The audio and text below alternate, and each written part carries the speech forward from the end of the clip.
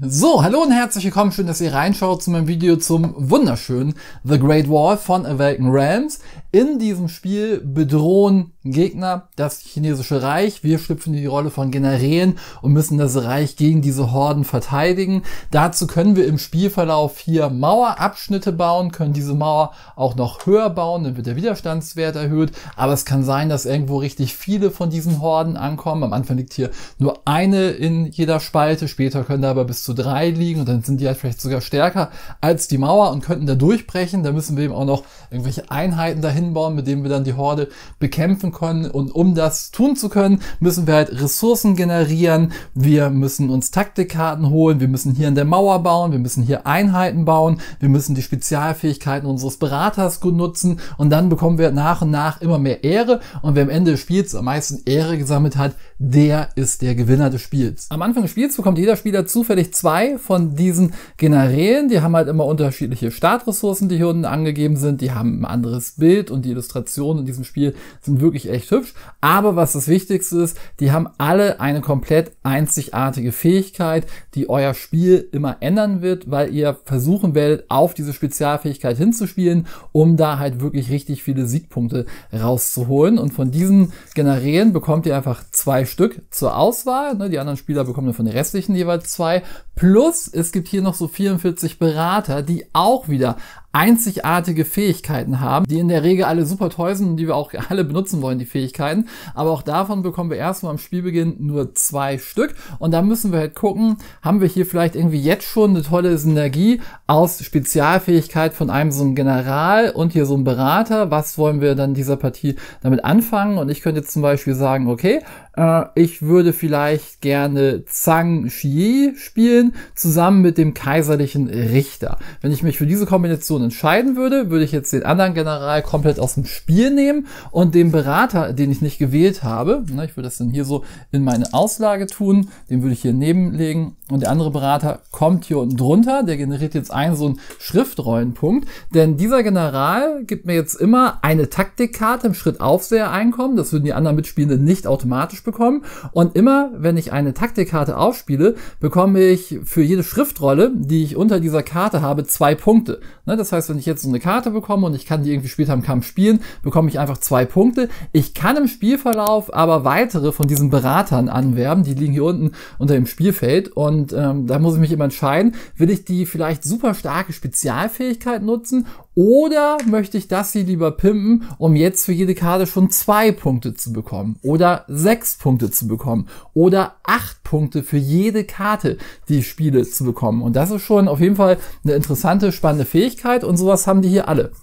Na, hier auch immer. Pro zwei Schriftrollen bekommst du zwei Punkte, immer wenn du irgendwas aufwertest. Oder hier beim Aufsehereinkommen bekommst du pro Bogenschützen in jedem Mauerabschnitt, wenn du die hast, irgendwie zwei Punkte pro Schriftrolle darunter. Also da kann man versuchen, sich super coole Engines aufzubauen. Und es ist natürlich toll, wenn man dann auch gleich hier so einen Berater bekommt, der das irgendwie auch unterstützt, den man gut damit nutzen kann. Es kann aber auch sein, dass ihr Partien habt, wo ihr hier irgendwie zwei Berater bekommt, wo ihr sagt, okay, ähm, ja, damit kann ich jetzt irgendwie wenig anfangen, aber ich muss mal gucken, wie ich damit spiele, um das gut nutzen zu können. Das ist schon eine äh, echte Challenge. Da muss man sich manchmal auch richtig hart reindenken. Vor allen Dingen muss man auch immer gucken, was haben die Mitspielenden für Kombinationen, weil da kann es manchmal sein, dass ihr vielleicht eine Kombination habt, wo ihr das schon ein bisschen vorbereiten müsst. Ne? Hier müsst ihr Karten bekommen, ihr müsst Einheiten produzieren, die müssen dann in Situationen kommen, wo ihr die Karten auch spielen und benutzen könnt, während wer anders einfach nur eine Karte hat, wo drauf steht, immer wenn du zwei Arbeiter auf einem Einsatzfeld hast und das aktiviert wird, bekommst du so viele Punkte, wie hier Ressourcen drunter liegen.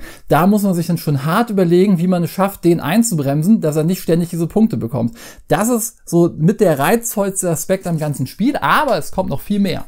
Es gibt leider keine wirklich gute Rundenübersicht, aber ich habe mir hier eine ausgedruckt. Man spielt vier Phasen immer und das Ganze macht man über sechs Runden falls das Spiel nicht schon vorher zu Ende ist. Und Frühling und Sommer überspringt man am Anfang, das heißt, das gucken wir uns auch gleich erst an. Das heißt, wir fangen mit Befehle auswählen an. Jeder Spieler hat hier so ein Set aus sechs Karten und davon kann man sich jetzt einen Befehl aussuchen. Zum Beispiel Wirtschaft, arbeitet härter. Die haben immer so ein bisschen Xing Shang Chong mäßig was drin. Ich kann die spielen, ich kann immer den Effekt nutzen, in der Regel Arbeiter einsetzen und noch irgendwie irgendwas extra machen.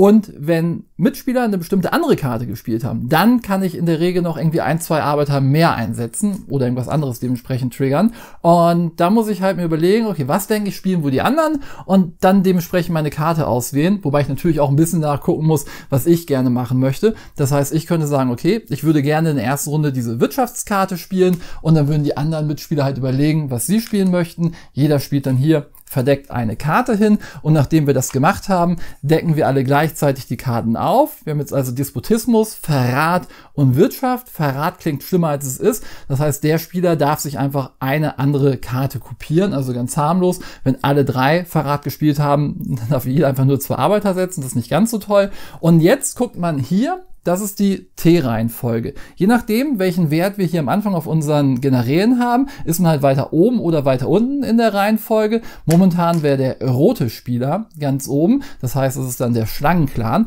Und der darf sich jetzt aussuchen, als ob er als erster, zweiter oder dritter in dieser Runde dran sein möchte. Sprich, möchte ich gleich am Anfang dran sein, mir irgendwelche tollen Sachen kaufen, die es in der Auslage gibt, oder möchte ich lieber letzter sein, um noch irgendwie steuern zu können, worauf ich irgendwie Schaden mache oder so.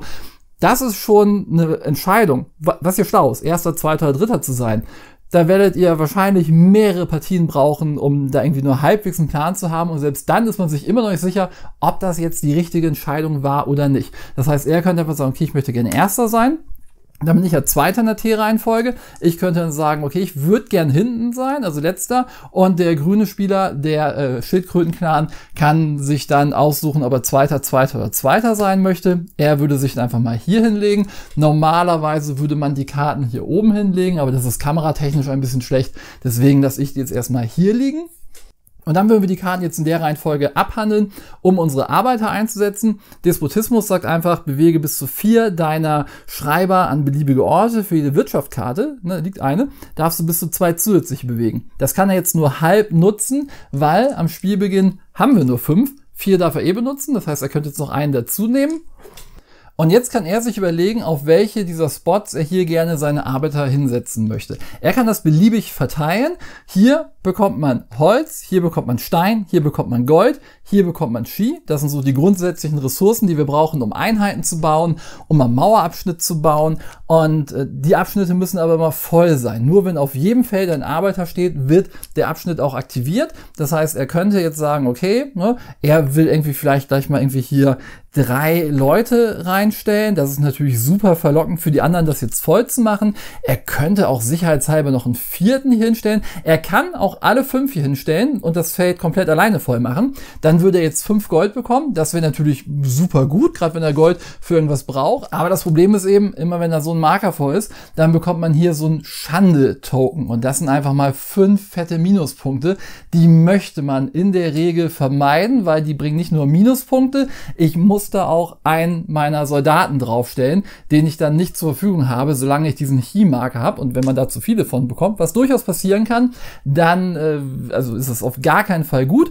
Deswegen könnt ihr das jetzt entweder so machen. Das ist halt ein Angebot, wo die anderen Spieler auf jeden Fall drauf eingehen werden. Und dann kann er überlegen, was er noch macht. Er kann sich auch mit den anderen absprechen. Ne, was wollt ihr denn? Wollt ihr irgendwie Stein, Holz? Wollt ihr Ski haben? Äh, wollen wir uns irgendwie Karten holen? Wollen wir vielleicht gleich schon bauen? Und dann könnt ihr sagen, okay, na, er stellt vielleicht noch ein hier in der Hoffnung, dass die anderen das auch voll machen. Und jetzt dürfen die anderen Mitspieler in T-Reihenfolge auch jeweils zwei Arbeiter stellen und zwar auf verschiedene Felder. Das heißt, ich könnte jetzt sagen, ich gehe hier drauf, mache das Feld voll.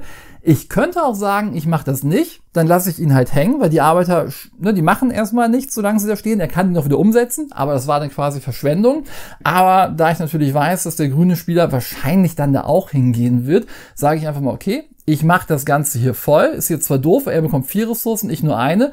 Aber wenn man hier steht und hier Ressourcen bekommt, kann man hier Aufseher hinstellen, die automatisch Einkommen jede Runde generieren. Und dann kann ich sagen, okay, ich mache hier mal mit. Ich stelle meinen Arbeiter auch noch hier hin. Ich darf hier nur zwei setzen. Und der grüne Spieler darf jetzt auch zwei Arbeiter einsetzen. Hier kann er nicht mitmachen. Hier sagt er, ach, weißt du was?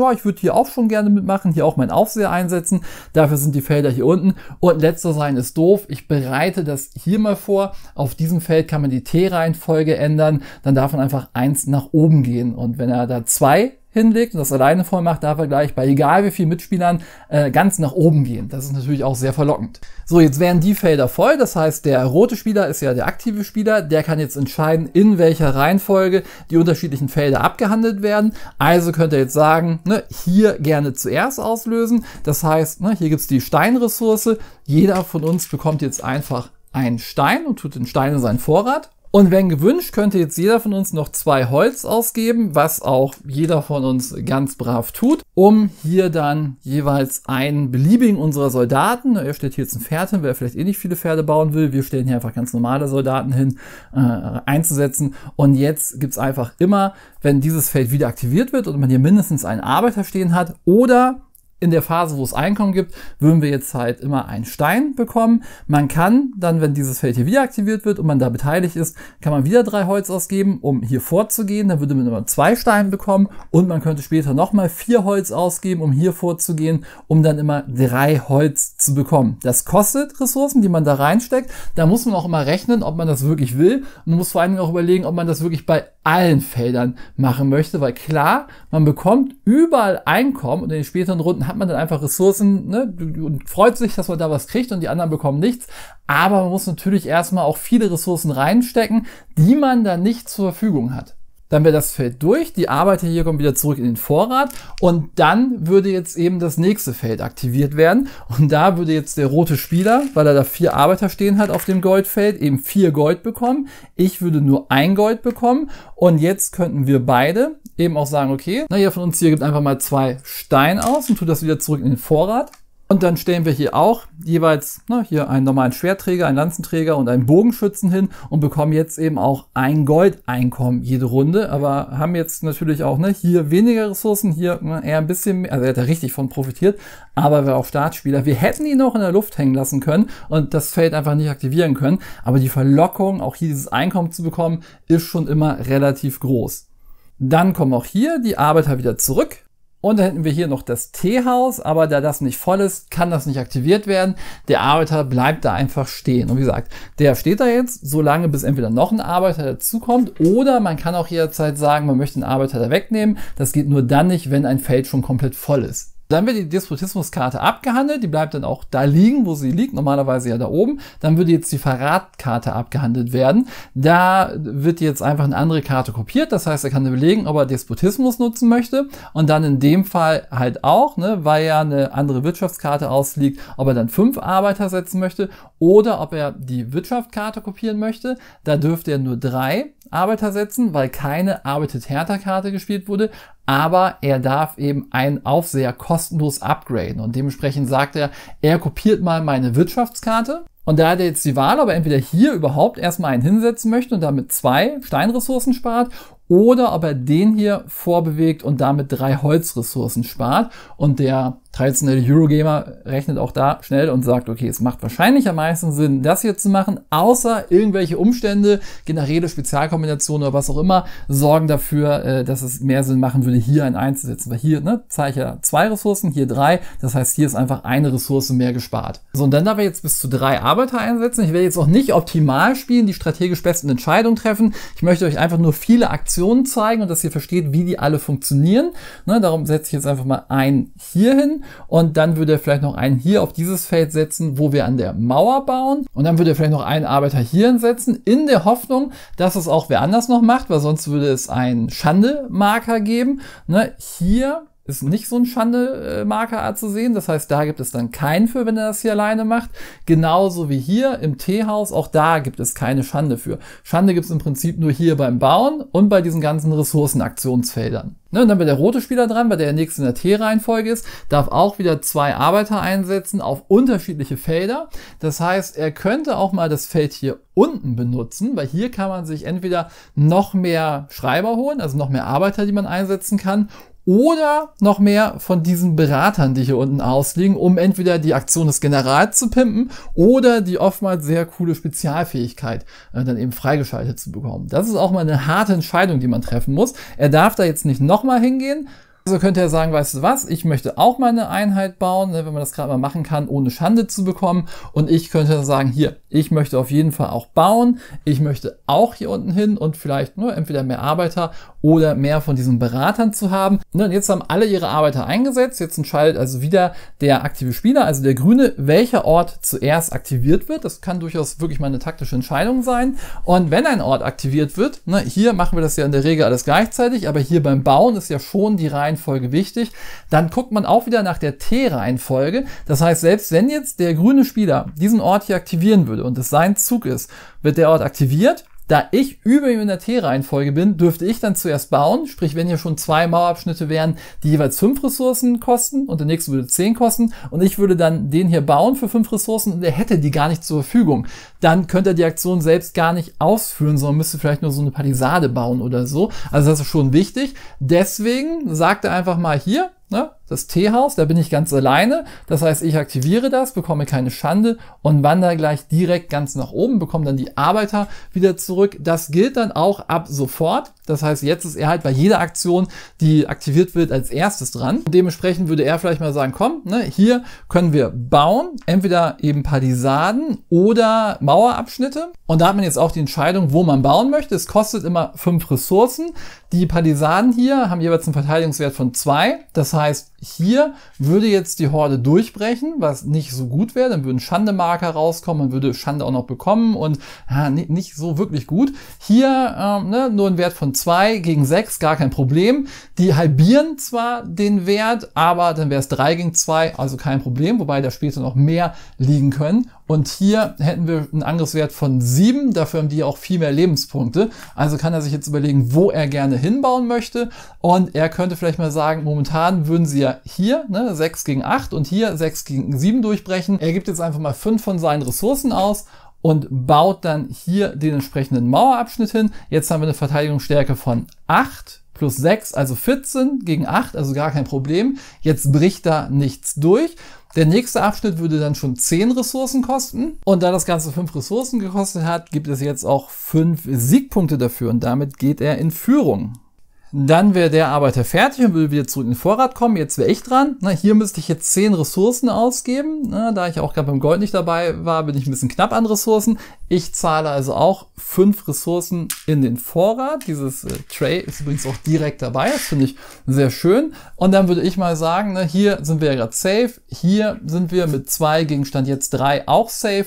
Also baue ich die Mauer mal hier. Jetzt haben wir hier einen Verteidigungswert von 8 plus 6, 14 gegen 7. Das klappt also auch hervorragend. Das heißt, in dieser Runde werden die Horden, die uns bedrohen, nicht durchbrechen, was super gut ist, weil das auch gleichzeitig bedeutet, dass wir keine Schande-Marker bekommen.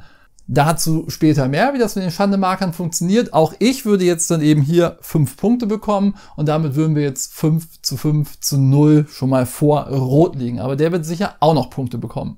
So, und dann haben wir jetzt noch diese beiden Orte. Da könnte der grüne Spieler jetzt sagen, okay, äh, macht ihr vielleicht erstmal euren Kram da. Das heißt, wir können jetzt überlegen, ob wir entweder uns mehr von diesen Schreibern holen wollen, also mehr Arbeit haben, die wir verteilen äh, wollen, dann kommt auch die Figur hier wieder zurück und jetzt haben wir noch den und den Ort. Auch da darf sich jetzt Grün wieder aussuchen, welcher Ort zuerst aktiviert wird. Und er würde mal sagen, komm, wir machen den Ort hier zuerst und hier kann man jetzt einfach äh, Soldaten rekrutieren und zwar immer ein Holz plus zwei Stein für Lanzenträger, zwei Vieh für Bogenschützen und drei Gold für Pferde.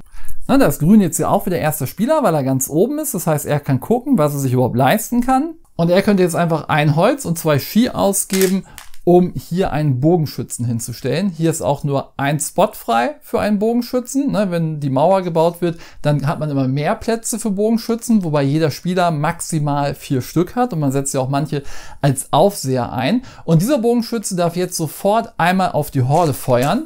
Kann sich also aussuchen, welches Feld er hier gerne abdecken möchte. Er könnte zum Beispiel hier einen Schaden drauf machen. Normalerweise, wenn wir zum Beispiel hier irgendwie Pferde draufstellen, dann bekommen wir die Belohnung von den Feldern, die wir abdecken. Das heißt, hier würde es jetzt zwei Punkte und ein Holz geben. Wenn man mit so einem Bogenschützen drauf schießt, dann bekommt man leider keine Belohnung. Das gibt einem auch keine Mehrheit, weil am Ende wird geguckt, wer hat hier am meisten eigene Figuren drauf. Der würde dann halt die Karte bekommen und damit die fünf Punkte am Ende plus sogar die Möglichkeit, hier äh, Shame-Marker draufzulegen, damit die keine Minuspunkte mehr zählen, aber dann kriegt auch die, ne, gibt die Karte keine Pluspunkte.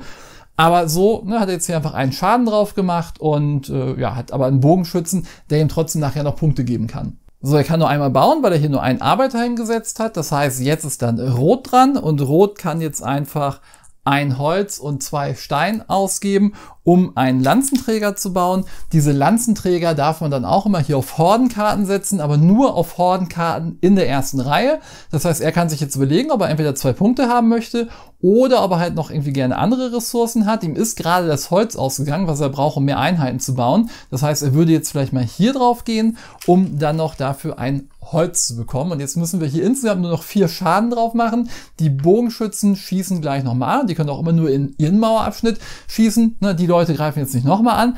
Aber wir haben ja auch gleich noch eine Runde lang Zeit. Meine Aktivierung kommt ja noch, wo wir vielleicht versuchen können, hier noch mehr Schaden drauf zu machen und den vielleicht sogar zu besiegen. Wenn wir das aber nicht schaffen würden, wäre das gar nicht so schlimm, weil ne, dadurch, dass der hier mit zwei gegen drei anrennt, bleibt er einfach hier liegen, hier passiert nichts. Es würden allerdings Arbeiter auf der Karte sterben, das gucken wir uns gleich an. Der Schaden, den die gemacht haben, bleibt dann. Also das war jetzt quasi die Wir rekrutieren Soldatenaktion. Ne, auch da kann nur einer rekrutiert werden, weil nur eine Einheit draufsteht. Da gibt es auch noch Spezialkarten von den Befehlen, wo einer für zwei zählt zum Beispiel.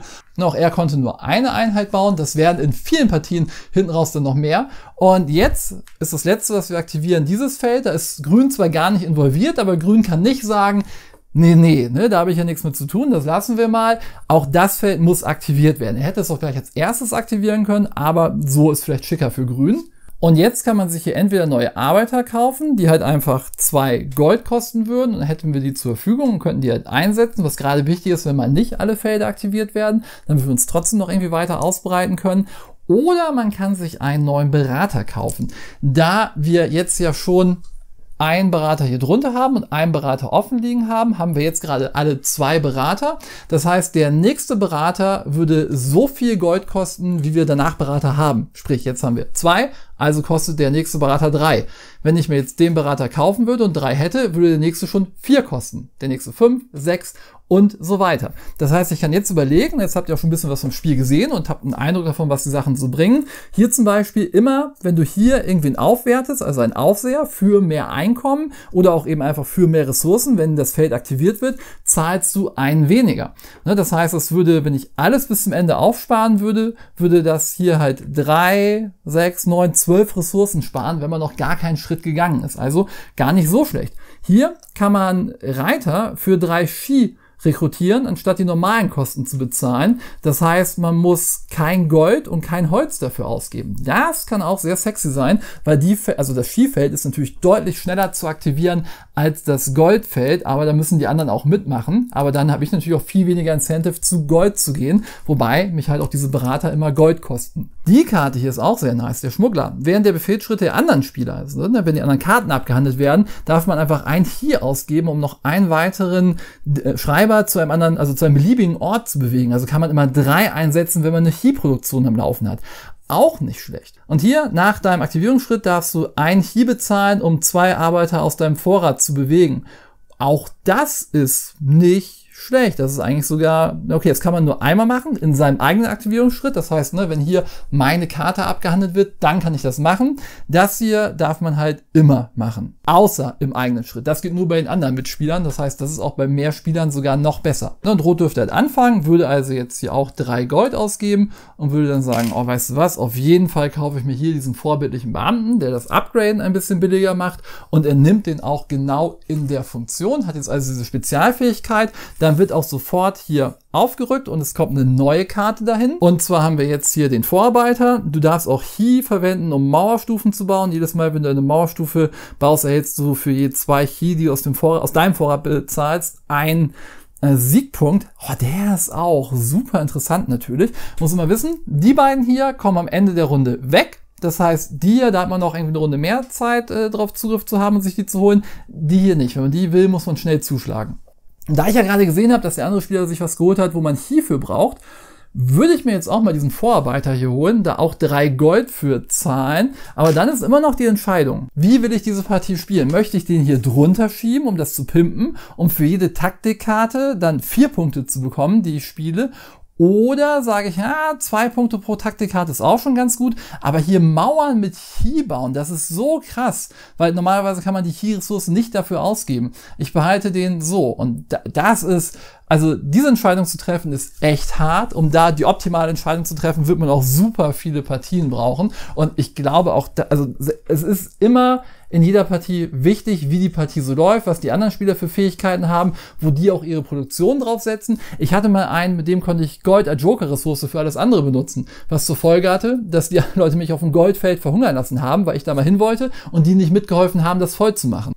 Was für die natürlich auch wieder hart war, weil auch die brauchen Gold. Also, ne, ob man die Karte hier oder hier spielt, das ist immer eine super knifflige Entscheidung. Und wenn ich jetzt schon wüsste, ich könnte diese Karten ohne Ende spielen und könnte ganz viele von meinen Soldaten irgendwie schnell ins Feld bringen, dann würde ich das vielleicht sogar hier bauen. Da das bis jetzt mit der Ressourcenproduktion bei mir noch nicht so lief und ich auch aktuell nur noch vier Ressourcen über habe, ist das vielleicht die bessere Wahl? Vielleicht auch nicht. Das ist so der große Reiz bei diesem Spiel.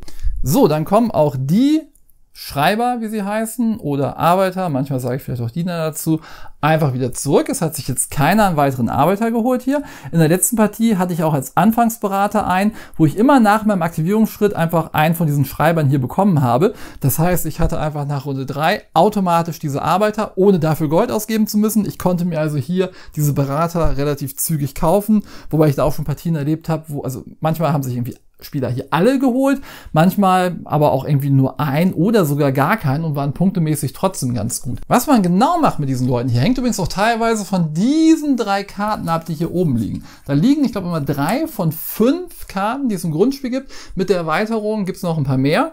Und das sind einfach Karten, wo ich am Spielende Punkte für irgendwas bekomme. Und hier zum Beispiel die Diener-Statuette. Sieben Punkte für jeden deiner aktiven Berater über zwei. Ne? Ich habe ja jetzt hier schon zwei aktive Berater, das heißt, der dritte würde mir sieben Punkte geben.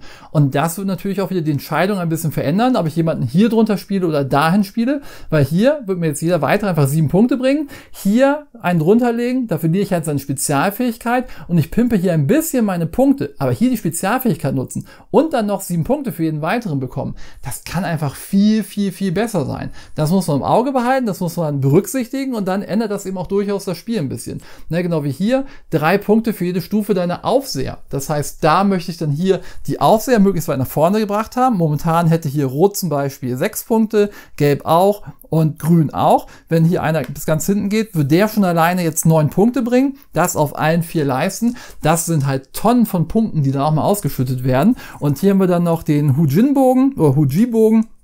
Sechs Punkte für jeden deiner Bogenschützen auf jeder höchsten gebauten Mauerstufe. Ne, momentan wäre das ja die höchste gebaute Mauerstufe. Wenn ich da jetzt irgendwie hier einen Bogenschützen drauf hätte, dann würde ich dafür halt einfach sechs Punkte bekommen, was natürlich dazu führen würde, wenn ich hier jetzt schon einen drauf habe, dass die anderen Mitspieler dann vielleicht eher hier bauen, damit der mir keine Punkte bringt, selber versuchen da ihre Bogenschützen raufzusetzen. Da kommt also nochmal so ein taktisches Metagame rein, das man berücksichtigen muss, weil dafür gibt es einfach super viele Punkte. Aber man kann nicht nur hierauf spielen, man muss immer hier diese Bedrohung im Blick haben, weil wenn die durchbrechen, wir Soldaten verlieren, wir dafür Schandemarker bekommen, das ist einfach nicht so gut. Und wenn wir die besiegen, wenn wir hier die Punkte kriegen, wenn wir die Karte bekommen, wenn wir dafür die Punkte am Ende bekommen, wenn wir da vielleicht Schandemarker drauflegen können, die uns dann keine Minuspunkte bringen, das ist einfach so gut, so wichtig, gerade weil wir eben auch hier diese Taktikkarten spielen können, die uns auch immer noch mal Vorteile geben. Wenn wir hier Schaden hinzufügen, wenn wir hier Leute verlieren, wenn wir den letzten Schaden hinzufügen, dann bekommen wir dafür auch noch mal zwei oder wenn man es pimpt, immer noch mal vier Punkte. Also es gibt einfach super viel zu berücksichtigen und eine Tonne von Entscheidungen, wo man selten weiß, was jetzt gerade die beste ist. Man versucht halt so optimal wie möglich zu spielen, aber es gibt einfach immer viele Dinge, die man machen kann. So, da hätten wir die beiden Karten abgehandelt. Jetzt würde meine Wirtschaftskarte kommen. Ich könnte jetzt auch einen for free steigern. Dann habe ich jetzt den oder den steigere. Kommt von der ne, Summe der Ressourcen, die ich ausgebe, drei und drei aufs gleiche raus. Aber ich steigere vielleicht lieber den hier, um halt ein höheres Goldeinkommen zu bekommen um mir dann hier vielleicht mehr Berater oder auch mal hier noch eine Figur kaufen zu können. Und jetzt darf ich eben drei Arbeiter einsetzen, die anderen danach eben zwei. Auch da darf ich jetzt anfangen, obwohl ich ganz unten in der T-Reihenfolge bin. Danach würde dann grün dann kommen und danach rot. Jetzt sind hier natürlich alle Felder leer. Ich habe nur Hi. Ich kann mit Hi aber jetzt auch an der Mauer bauen. Das heißt, ich könnte auf jeden Fall einen hier hinsetzen um zu bauen. Ich bin hier jetzt ganz unten. Ich könnte mich hier ganz nach vorne bringen. Oder ich sag mal, liebe Leute, ihr wollt doch bestimmt auch wieder Gold haben und setze mich hier hin, wobei das jetzt auch wieder doof ist, weil ich natürlich weiß, dass die anderen beiden das nicht voll machen können, weil die jeder nur einen Arbeiter dahin setzen können. Das heißt, ich könnte sagen, hier, ne, das Hier-Feld voll machen, wäre doch voll gut, weil du hast dir hier ja einen Berater geholt, wo du, nee, hast du gar nicht, das war der andere. Schade, schade. Ich spiele übrigens auch so, dass ich meine Spezialfähigkeiten berücksichtige, die der anderen nicht, weil das noch alles im Kopf zu behalten, da würde ich hier tausend Fehler machen. Ich tue einfach so, als wären die blank, aber natürlich haben die die auch Spezialfähigkeiten. Ne, er hier, jedes Mal, wenn du rekrutierst, dann senkst du die Einkommen äh, um zwei Ressourcen für jede seiner Schriftrollen, die da drunter ist. Das heißt, wenn er hier mit fünf Arbeitern hingeht und hat hier meinetwegen vier Karten drunter, dann würde er die Kosten um acht reduzieren. Das heißt, er könnte fünf Einheiten produzieren und müsste acht Ressourcen weniger für zahlen. Super krass. Und dem habe ich auch schon mal gespielt. Der hat echt Spaß gemacht zu spielen. Und als Sonderfähigkeiten hat er jetzt zum Beispiel jedes Mal, wenn du deinen Arbeiter aufwertest, darfst du deinen Stein, also deinen Aufseher aufwertest, aufwertest, darfst du deinen Steinaufseher für zwei Holz weniger aufwerten. Und hier jedes Mal, wenn du einen ne, Aufseher aufwertest, bezahlst du eine Ressource weniger. Das heißt, hier würde jetzt sogar drei weniger für zahlen für den Steinaufseher. Und mit der Karte da oben, die ja für jeden Schritt hier drei Punkte bringt, ist das auch eine Kombination, wo er locker 36 Punkte rausholen kann, ohne große Probleme, wenn ich das jetzt immer berücksichtigen würde. Ihr seht schon, hier können super tolle Kombos sein. Es kann aber auch sein, dass ihr hier gerade am Anfang auch Kombos habt, die noch irgendwie Mist sind und hier die tollen Karten werden euch weggekauft, weil ihr irgendwie jetzt zu spät Zugriff drauf habt. Man muss hier halt immer sehr situativ reagieren. So, dann wäre Grün dran und Grün würde sagen, ach, weißt du was, hier ist immer gut, wofür wir gleich sehen. Und dann würde er halt sagen, okay, ne, vielleicht hier eine Taktikkarte, vielleicht hier schon mal irgendwie ein Gold machen. Ne, Gold ist ja nie verkehrt. Dann wäre Rot dran und Rot würde sagen, okay, ich darf hier leider nicht mitmachen. Komm, ich gehe auch mal hier hin. Und dann bräuchte er vielleicht auch mal Holz, um damit was zu machen und geht dann schon mal hier hin. Und dann wären wir durch, alle hätten was eingesetzt. Ich dürfte jetzt also wieder entscheiden, was aktiviert wird. Die beiden Orte hier können nicht aktiviert werden. Also sage ich hier, komm, der wird aktiviert. Ist für mich aber super doof natürlich. Nee, komm, ich ähm, na, hm, hm, hm. ich brauche ja eigentlich, ich habe ja den hier gerade aufgewertet mit meiner Wirtschaftssonderfunktion, dass ich einen kostenlos aufwerten kann. Und das ist eigentlich auch voll super, aber da ich jetzt ja den Vorarbeiter habe, mit dem ich irgendwie Chi brauche, sage ich, nee, nee, nee, komm, ich werte nicht den hier auf, sondern ich setze den hier ein. Ich habe nämlich auch gar kein Gold, das ich hier jetzt ausgeben könnte, weil jeder, der jetzt hier einen Arbeiter hat, na, ich würde jetzt auch dementsprechend Zweiter sein. Erst würde er hier anfangen, wobei das in dem Fall eigentlich egal ist. Und er würde jetzt einfach ein Chi bekommen, dass er in seinen Vorrat bekommt. Und jetzt könnte er zwei Gold ausgeben, wenn er möchte, um hier auch noch einen Arbeiter einzusetzen. Er ist smarter als ich. Er setzt dafür nicht den Bogenschützen ein, weil wir haben ja gelernt, da oben gibt es Punktekarten, wo man für Bogenschützen Punkte bekommt. Und dann will man die vielleicht lieber dahin bauen. Na, jetzt bekommt er auch ein Chi mehr, aber erst ab jetzt immer, wenn das hier aktiviert wird. Und ich durfte den ja schon vorher hier einsetzen. Ich hoffe, das ist richtig vom Timing her so. Also bekomme ich jetzt zwei Key für die beiden Arbeiter und ein für meinen Vorarbeiter. Ich würde fast vermuten, ähm, dass man den Vorteil jetzt noch nicht bekommt, sondern erst in der nächsten Runde. Und ihr habt es gemerkt, die Mauer stand hier nur aus Beispielzwecken. Die steht hier natürlich aktuell noch gar nicht. Jetzt kann ich eben das Feld hier aktivieren und könnte eben noch mal an der Mauer bauen. Und ich habe jetzt zwei, vier, sechs, acht, ach, neun Ressourcen leider nur. Das ist ein bisschen ärgerlich, weil sonst könnte ich hier die nächste Stufe bauen. Die kostet aber 10 Ressourcen. Also, ja, ja, doof, doof, doof. Gebe ich jetzt einfach mal 5 davon aus und baue dann hier an der Mauer. Der Bogenschütze wandert dann einfach hier nach oben und schilt da und freut sich. Und dann bekomme ich auch nochmal 5 Punkte dafür. Bin jetzt also bei 10, habe noch 4 hier übrig. Schade. Ne? Das ist auch die falsche Mauer hier. Ähm, da muss natürlich eine große drunter, so die hier, bam. Es ist übrigens so, wenn man hier bei diesen Feldern Ressourcen bekommt, ihr seht hier diese Pfeile, die hier hin zeigen, dann darf man eine von diesen Ressourcen hier hin spenden. Ne, dann würde man die einfach hier hinlegen. Das geht mit allem. Das geht mit Stein, Holz und Gold. Das geht nicht mit Hi. Da kommt kein Pfeil her. Und ne, dann gibt's dafür zwei Punkte. Auch wenn ich hier mehr Ressourcen bekomme, maximal eine Ressource kann hier hin. Wenn dann jemand hier baut, dann kann er einfach diese Ressourcen hier benutzen und und äh, spart dann damit Ressourcen aus dem eigenen Vorrat.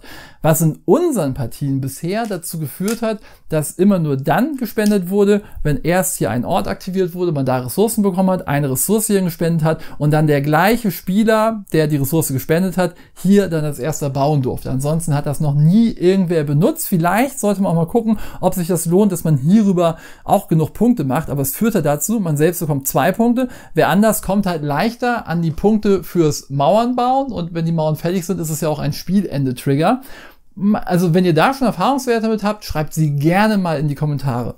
So, ich habe keine Ahnung, wie der hier hingekommen ist. Der steht auf jeden Fall nicht. Da muss ja der Grüne hier nach oben. Das ist immer viel zwischendurch erklärt. Dann sind die drei Karten jetzt abgehandelt worden. Wir würden auch normalerweise immer nach jedem äh, Zwischenschritt, nach jedem Aktivierungsschritt prüfen, ob hier eine Horde besiegt ist. Falls ja, wird die sofort abgehandelt.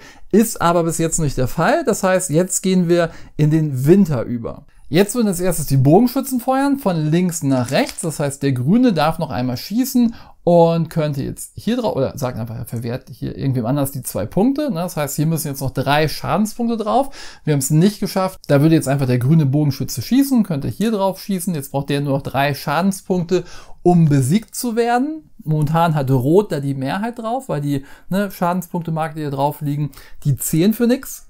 Da keine Horde besiegt wurde, gucken wir jetzt. Ne, hier haben wir einen Angriffswert von 8 gegen 8. Da passiert also nichts. Also bleibt hier alles so, wie es ist. Hier haben wir einen Angriffswert von 2 gegen. Ne, der Wert wird hier halbiert, also 7. Passiert auch nichts. Und hier haben wir einen Wert von insgesamt 7 gegen 8.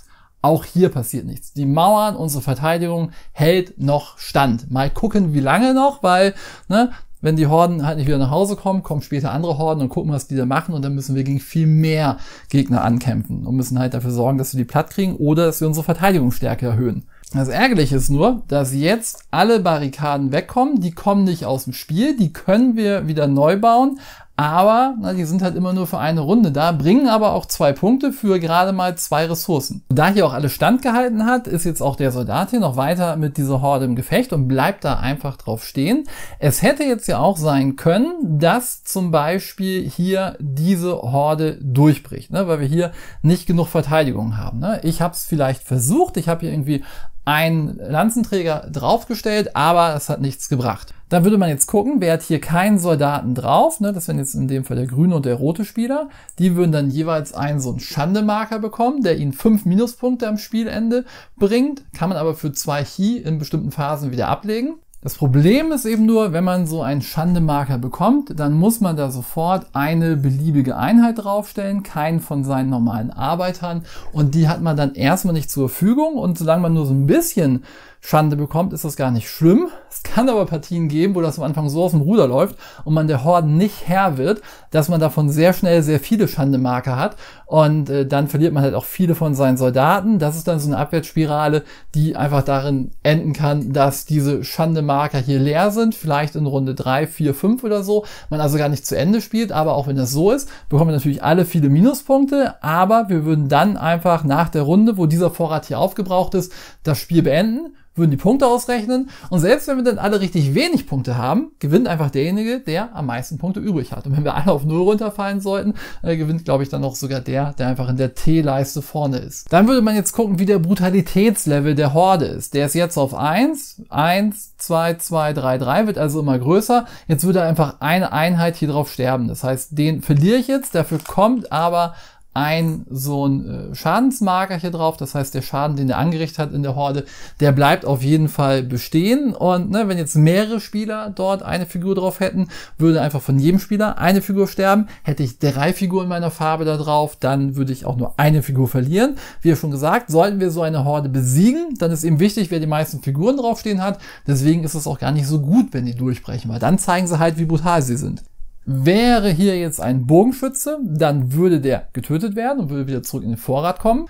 Und ich könnte jetzt noch zwei hier ausgeben, um diesen Soldaten zu retten. Dann kommt er einfach hier hinter diese Mauer. Da macht er erstmal nichts, auch wenn die Horden durchbrechen. Die Leute, die hier stehen, werden ignoriert. Das macht jetzt topografisch nicht so viel Sinn, aber es ist einfach so. Später kann ich mit einer bestimmten Befehlskarte diese Leute hier auch wieder angreifen lassen. Das muss ich dann aber auch dementsprechend gut vorbereiten. Hier hinten sind die oftmals relativ sinnlos, wobei es auch dafür Berater gibt, mit denen man nochmal mit denen irgendwie angreifen kann. Also das kann schon Sinn machen, damit hinterher nochmal zu so einem großen Schlag stark auszuholen und dann richtig viel Schaden zu machen. Hätten wir aber diese Horde hier besiegt und ich hätte hier dieses Feld noch abgedeckt, hätte ich jetzt natürlich die Belohnung bekommen. Wir würden dann immer nach dem Schritt prüfen, ob die Horde besiegt ist. Das ist der Fall. Man würde gucken, wer hat am meisten dazu beigetragen, also am meisten Soldaten, die hier noch draufstehen, wer hat am meisten Felder abgedeckt. Ich habe eins, zwei, drei Felder abgedeckt, rot nur eins, grün hat zwar einen Bogenschützen, aber das zählt dafür nicht. Also wäre ich jetzt der mit dem großen Beitrag, das heißt, ich würde diese Karte bekommen und würde dafür auch die fünf Punkte am Ende bekommen. Dann würde man auch gucken, jeder, der mindestens einen Soldaten hier drauf hat, bekommt zwei Ehre, also zwei Punkte für mich und zwei Punkte für Rot, kein Punkt dementsprechend für Grün. Aber es würde dann für jeden Bogenschützen, der hier oben steht, auch nochmal zwei Ehre geben. Das heißt doch zwei Ehre für Grün. Und wenn Grün hier sogar drei Bogenschützen hätte, dann würde er jetzt einfach sechs Ehre dafür bekommen, nur weil er da ist. Wobei die Soldaten, also die Bogenschützen verliert man noch relativ leicht wieder. Und dann würden wir die Karte hier halt abräumen und derjenige, der einfach am meisten hier hinzugefügt hat, der bekommt jetzt diese Karte. Das heißt, ich würde diese Karte bekommen und hier hinten könnte ich halt Schandemarker drauflegen. Ne? Hier sind zwei Felder drauf, äh, wo die Schandemarker draufkommen. Das heißt, dieser Schandemarker bringt mir ja fünf Minuspunkte. Das heißt, ich würde dann halt minus zehn Punkte einfach nicht bekommen. Ne? Hier bringt mir die Karte an sich fünf Punkte. Das heißt, effektiv, wenn ich äh, das hier drauflege, mache ich damit fünf Punkte gut. Ja, würden jetzt noch weitere Hordenkarten liegen, würden die einfach nach vorne rücken.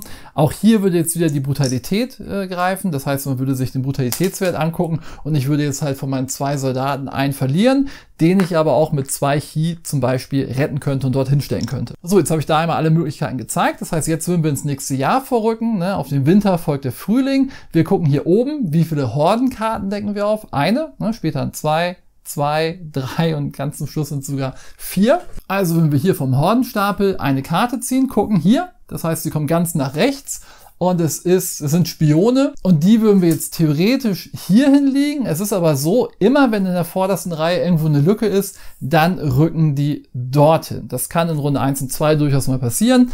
In Runde ja, 3, 4, 5 dann später ähm, wird das wahrscheinlich seltener der Fall sein. Aber wenn man gut ist, schafft man es immer, alle wegzuräumen und irgendwo Lücken zu machen. Dann kann man auch immer steuern, wo die hinkommen, wo man vielleicht auch dann dementsprechend die Verteidigung aufgebaut hat. Da läuft jede Partie in der Regel immer anders. Dann würden wir hier die Unterstützer auffrischen. Das heißt, die beiden hier würden wegkommen, die hier würden aufgerückt werden und wir würden einfach zwei neue dahinlegen, die man dann auch einmal kurz vorliest, die sich auch jeder nochmal anguckt und schon haben wir wieder vier wunderschöne Berater zur Auswahl. Dann würden wir jetzt das Aufsehereinkommen bekommen. Das heißt, Grün würde hier zwei Steine bekommen. Wir zwei würden hier ein Stein bekommen. Hier würden Rot und Gelb jeweils ein Gold bekommen.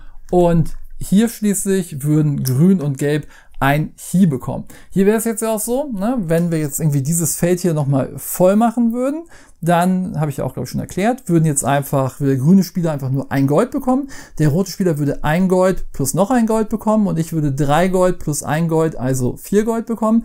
Wäre mein Aufseher jetzt schon hier und das wäre so, wenn es abgehandelt äh, werden würde, dann würde ich drei und drei, also fette sechs Gold bekommen. Dann ist jetzt die Phase, wo man Schande wegwerfen kann. Ne? Der Spieler hier hat ja schon Schande bekommen. Für zwei Chi die er zurück in den Vorrat tut, kann er jetzt diesen Schandemarker hier loswerden und zwar so viele wie also wenn er ne, pro zwei Chi ein Schandemarker hat er 10 Stück und hat 20 Chi, kann er die jetzt alle ausgeben und äh, sich damit alle seine Arbeiter zurückholen und diese ganzen fetten Minuspunkte dann auch loswerden. Das geht aber nur jetzt in dieser Phase. Dann würden wir jetzt diese Befehle abwerfen, die kommen einfach auf den Stapel oder man nimmt die wieder auf die Hand zurück. Das kann man machen. Wenn man die zurücknimmt, muss man alle zurücknehmen. Ne, kann man jetzt natürlich sagen, okay, ne, mache ich immer, ist ja cool, eine Auswahl zu haben. Das Problem ist halt, jeder Befehl gibt einem eben auch zwei Punkte jede Runde. Das heißt, jetzt würde ich einfach zwei Punkte bekommen. Wenn ich dann nächste Runde, na jetzt meinetwegen hier die arbeitet härter Karte gespielt hätte und würde die da auch noch liegen lassen, würde ich jetzt schon vier Punkte bekommen, hätte also insgesamt sechs Punkte bekommen. Wenn ich dann mal den Despotismus gespielt hätte, dann ne, würde ich halt jetzt schon sechs Punkte bekommen, hätte also insgesamt zwölf Punkte bekommen. Das kann sich schon ganz schön aufsummieren, wenn man es also schafft, das Spiel so zu spielen, dass man wirklich vielleicht jede Karte einmal spielt. Ich glaube, man hat sogar noch eine Karte übrig am Ende, äh, dann holt man da das Maximum an Punkten raus. Das muss man aber auch gut planen und natürlich sollte man nicht in der vorletzten Runde nochmal alle Karten wieder zurücknehmen. Das kann Sinn machen, da muss man schon hart rechnen, aber das ist meistens so, ja, man macht da irgendwie vielleicht irgendwie zwölf Punkte mit, verliert zehn Punkte, ob es das dann wert ist. Also ja, wenn das wirklich so ausgeht, schon, aber in dem Spiel hier muss nicht immer alles so klappen, wie man sich das vorstellt. Und dann ist auch jetzt quasi schon ein Jahr rum, wir sind wieder im Herbst, das heißt, wir würden jetzt wieder eine von diesen Karten hier aus aussuchen, würden natürlich auch sehen, was die anderen Leute schon gespielt haben. Das ist immer eine offene Information, können also damit schon mal Schlussfolgern, was die jetzt clevererweise machen wollen, wobei die natürlich auch wissen, dass wir das wissen und dann selbst nochmal irgendwie da drumherum planen können. Dann würden wir wieder diese Karten ausspielen, wir würden dann gucken, T-Reihenfolge, da darf man sich entscheiden, an welcher Position man ist. Dann würde man diese Karten abhandeln, die Effekte, die da draufstehen. Beim Despotismus zum Beispiel darf man auch noch immer einen Ort aktivieren, der nicht voll ist. Ne? Das habe ich vorhin auch vergessen zu erklären. Das heißt, wenn der Spieler jetzt irgendwie hier vielleicht irgendwie ne, den und den und den Ort abgehandelt hätte und das so aussehen würde, dann wird ja jetzt dieser Ort normalerweise nicht abgehandelt werden und der Ort hier auch nicht. Das heißt, er könnte dann einfach sagen, weißt du was,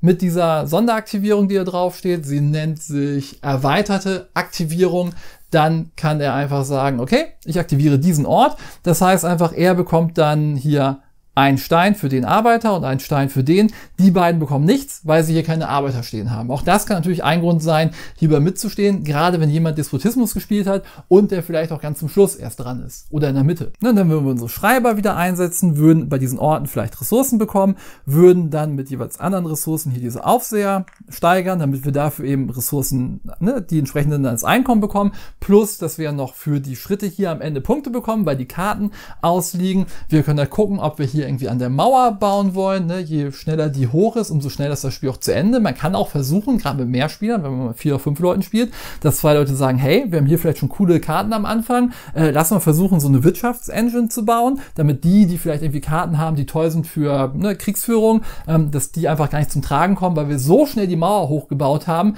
äh, dass das Spiel zu Ende ist, bevor die die richtig fetten Punkte machen. Das kann funktionieren, muss aber nicht. Alleine würde ich da ja nicht drauf gehen. Und bei zwei Leuten, na, man kann sich hier bei dem Spiel auch immer nie auf irgendwas verlassen. Aber dementsprechend kann man das hier machen. Man kann hier als Soldaten bauen, um dann hier eben natürlich die Punkte abzugreifen für die Schadensmarker, die man hier drauf liegt und dass man eben einfach die Karte an sich bekommt. Ne, wenn ich es irgendwie schaffe, vier, fünf von diesen Karten zu besiegen und die immer so fünf bis acht Punkte bringen, dann sind das auch nochmal richtig fett Punkte am Ende. Und wir haben uns ja diese Taktikkarten noch gar nicht angeguckt. Ne?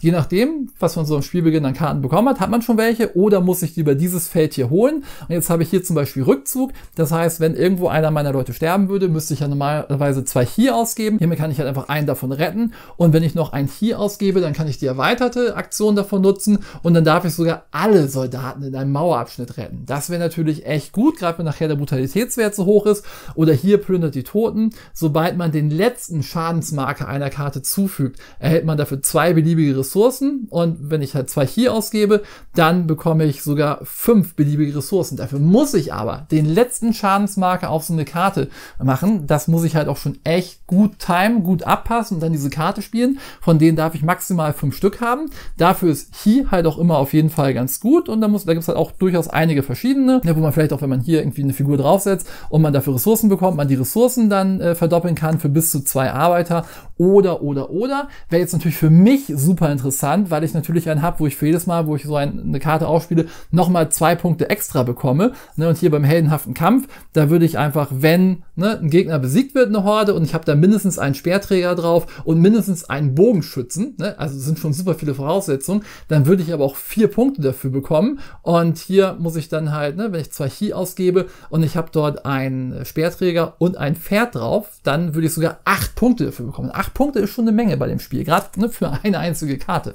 Von daher, die Taktikkarten kann man eh immer schon auch mal gut nutzen, um da noch Punkte abzugreifen. Ne? Man holt hier überall immer da mal Punkte, da mal Punkte. Hat man natürlich dafür noch irgendwie einen General oder einen Berater, dann will man das noch mehr time. Wie gesagt, letzte Partie hatte ich hier irgendwie fünf Karten drunter liegen. Für jede Karte, die ich gespielt habe, habe ich dann zehn Punkte bekommen. Ich habe aber auch also selten Soldaten spielen können, weil mir da natürlich die Ressourcen für gefehlt haben. So, eine angenommen, wir würden es jetzt nicht schaffen, die hier Platz zu machen, wobei die sind noch relativ einfach Platz zu machen, dann würden jetzt nächste Runde schon zwei dazukommen. Das heißt, einer würde hier in die Mitte kommen, ne, weil hier das mittlere Feld angegeben ist, und der würde noch hier hinkommen. Und jetzt würde schon am Ende der Runde, hätten wir hier einen Wert von 15 gegen nur 8, hier hätten wir einen Wert von 13 gegen 8 und hier zählen jetzt keine Palisaden, weil die die abfackeln. Ne, hier hätten wir weiter 8 gegen 8, das wäre kein Problem. Und wenn wir das jetzt wieder nicht schaffen würden, würde die Situation noch schlimmer werden, weil es würden nochmal zwei dazukommen. Das heißt, es würde einer nochmal hier hinkommen und der würde auch nochmal hier kommen. Und wenn er so aussieht und ihr irgendwie hier noch nicht viel gemacht habt, ihr keine wirkliche Wirtschaftsengine am Laufen habt,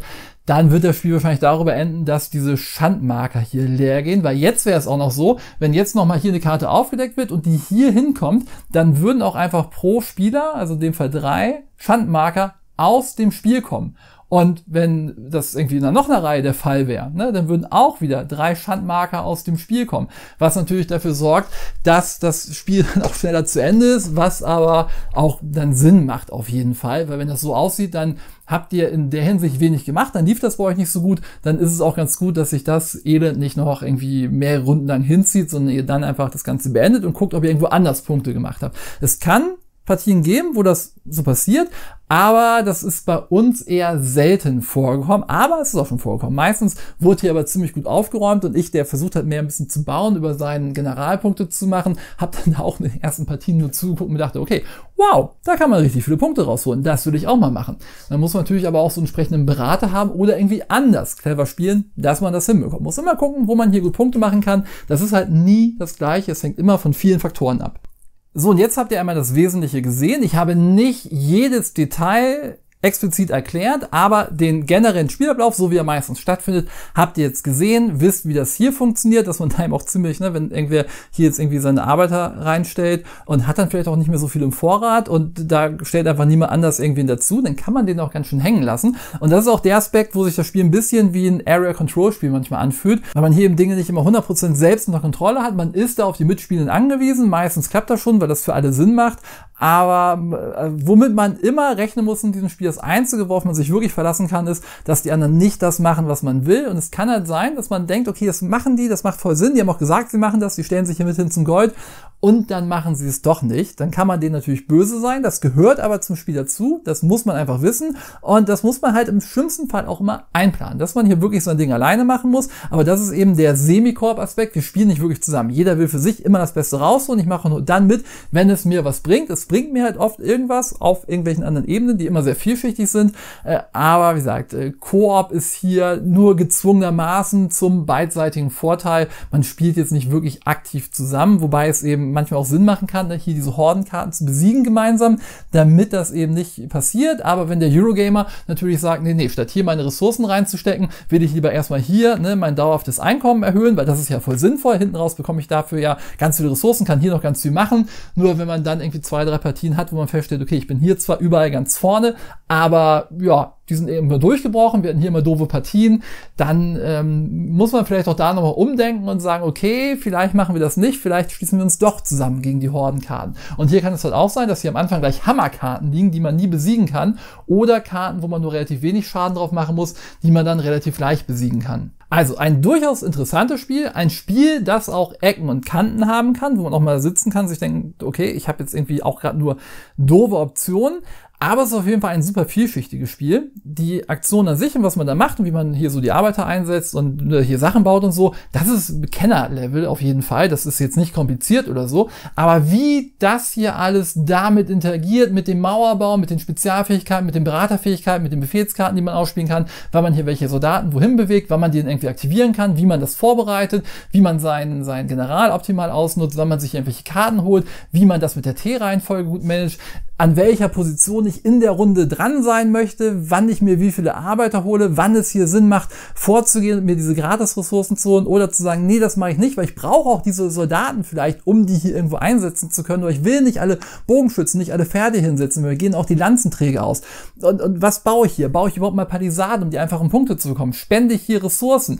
Ne, verzichte ich hier irgendwie aufs Bauen von Soldaten und Einheiten und äh, mach die Mauer hier hoch? Oder sage ich, nee, die anderen machen die Mauer, ich versuche hier, ne, weil ich auch so einen coolen äh, General habe, der mir vielleicht irgendwas extra gibt, wenn ich hier den letzten Schadensmarker drauflege und ich habe noch Karten dafür und dann möchte ich auch gerne mehr Karten haben und um das auch nutzen zu können, brauche ich wieder hier und ich brauche bestimmte Ressourcen, um meine Beraterfähigkeiten gut einsetzen zu können. Das ist halt auf jeden Fall über Kenner-Level, das ist für mich eindeutig Expertenlevel und da brauchen wir auch die richtige Runde für. Optimale Spielerzahl laut Boardgame Geek ist zu dritt. Ich glaube, drei und vier ist eine echt sehr gute Spielerzahl. Es gibt einen angepassten Zweispieler-Modus, es gibt einen Solo-Modus, es gibt einen kooperativen Modus, der meiner Meinung nach unschaffbar schwer ist, in dem Schwierigkeitsgrad, wie er momentan empfohlen ist. Ich hoffe, dass auch da noch angepasst wird und man sagt, okay, ihr könnt das irgendwie leichter machen. Ähm, um, also es gibt schon Hausregeln dafür, wie man das machen kann, aber noch keine offiziellen Regeln, habe ich zumindest noch nirgendwo gesehen. Aber das ist auf jeden Fall eine echte Challenge und der Vorteil im Koop-Modus ist, ihr könnt euch darauf verlassen dass die anderen Mitspieler das machen, was sie hier machen sollen. Das fand ich persönlich super angenehm, nur der Schwierigkeitsgrad war viel, viel, viel, viel, viel zu hoch. Wie gesagt, alles in allem ist es ein Spiel, wo ihr nach fünf Partien wahrscheinlich erst so grob wisst, was ihr überhaupt macht und wie ihr dagegen vorgehen könnt. Und ihr werdet auch nach 10, 15 Partien hier noch einiges Neues entdecken können, gerade auch wie man so die Mitspieler einschätzen muss und wie man irgendwie vielleicht gegen die vorgehen muss oder sich auch manchmal mit denen verbünden muss. Also sehr, sehr, sehr vielschichtig. Karl, Flo und ich werden euch da noch ein Video zu machen, wo wir noch mal ein bisschen genauer darauf eingehen. Ich finde das Spiel schon interessant auf jeden Fall. Es hat, wie gesagt, Ecken und Kanten. Karl und Flo mögen das Spiel auf jeden Fall deutlich mehr als ich. Daher wird das, glaube ich, auch sehr interessant, da nochmal drei unterschiedliche Meinungen zuzuhören. Und damit sage ich vielen, vielen Dank fürs Zugucken. Ich hoffe, es war hilfreich für euch. Schreibt gerne einen Kommentar drunter, wie ihr diese Regelerklärung fandet. Ob ihr sagt, hat mir geholfen oder eher nicht. Ne? Was kann ich besser machen? Kritik hilft auf jeden Fall immer sehr. Gerne auch konstruktiv, damit ihr immer am ehesten aufgenommen. Und dann, wenn ihr euch das Spiel auch holt, wünsche ich euch viel Spaß damit. Wenn ihr das Spiel schon zu Hause habt und schon ein paar Partien gespielt habt, gerne auch ein Feedback, wie ihr es bisher findet. Und dann sage ich bis bald und tschüss.